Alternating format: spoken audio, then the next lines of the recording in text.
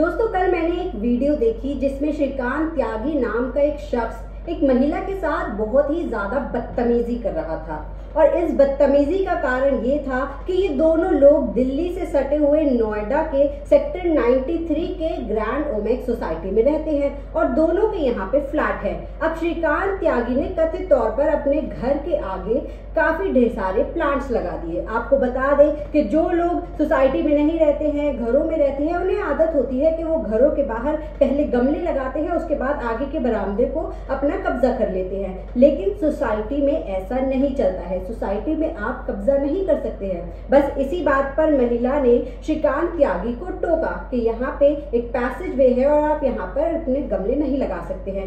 इस बात पर श्रीकांत ने इस महिला के साथ इस हद तक बदतमीजी करी कि वो उन्हें माँ बहन की गालियाँ देने पर आ गए। इतनी अभद्र भाषा के कोई पुरुष अपनी महिला के साथ घर पर ऐसी भाषा का इस्तेमाल नहीं करता होगा। लेकिन उसके बावजूद श्रीकांत त्यागी ने सब लोगों के बीच में इस महिला के साथ बहुत बदतमीजी करी। और सबसे बड़ी बात कि वहाँ पर सोसाइटी के लोग चुपचाप खड़े रहे। कोई इस महिला का साथ देने नहीं आया, केवल वीडियो बनाते रहे और ये महिला अपने दम पर लड़ती रही। वैसे मैं ये नहीं कहूँगी कि हमेशा महिलाएँ सही होती है। कई बार महिलाएँ गलत भी होती है, जैसे कि हमने लखनऊ में देखा था, जो वो फ्लाइंग किक कर करके एक लड़की ने एक लड़के को बेवजह बीच सड़क पर मारा था और उस वक्त भी पुलिस वाले केवल तमाशा देखते रहे। लेकिन यहाँ साफ़ तौर पर दिख रहा है कि गलती इस श्रीकांत त्यागी की है। और ये अपने आप को हमेशा भाजपा नेता बताता रहा है। लेकिन अब भाजपा ने भी इससे अपना पल्ला छुड़ा लिया है। जो श्रीकांत त्यागी कभी अपने आप को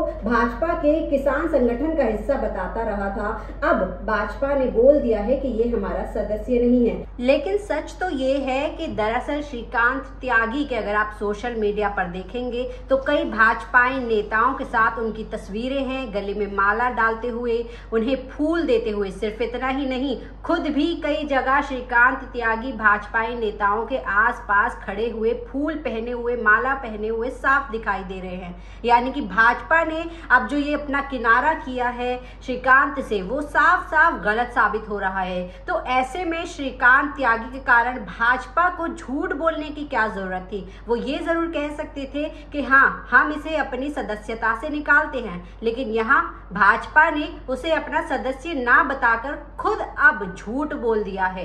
लेकिन बात सिर्फ़ यहाँ नहीं गुजरती है। इस श्रीकांत त्यागी पर इससे पहले भी एफआईआर हो चुकी है। आपको बता दें कि साल 2020 में भी श्रीकांत त्यागी को उसकी पत्नी ने लखनऊ के गोमती नगर के एक होटल में पकड़ा था किसी और महिला मित्र के साथ। और जब त्यागी की पत्नी ने श्रीकांत को एक महिला मित्र के साथ पकड़ा तो उसने उस महिला मित्र के साथ भी काफ़ी झड़प करी। दोनों के बीच में इतनी ज़्यादा लड़ाई हुई कि मारा पीटी का मामला बन गया था और उसकी पत्नी ने उसकी पति के ऊपर और साथ ही साथ उसकी महिला मित्र के ऊपर कई केस भी दर्ज कराए थे। और साथ में जो महिला मित्र पकड़ी गई थी, उसने पुलिस वालों को धमकाने की कोशिश करी कि मेरे कनेक्शन बड़े बड़े लोगों के साथ है। तुम लोग खतरे में आ सकते हो। यानी कि आप इन लोगों की एक मेंटालिटी देखिए। एक तो गलत काम करते हैं, उसके ऊपर से पुलिस को धमकाते हैं। तो पहले शायद पकड़े नहीं गए, इसीलिए इनकी जो ये एक हिम्मत है, ये इसीलिए बढ़ती रही। फ़िलहाल पुलिस ने श्रीकांत त्यागी के ऊपर एफ़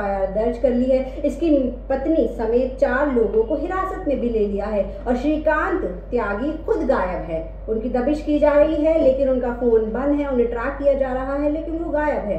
अब सवाल यहाँ उठता है कि यहाँ गलती किसकी है?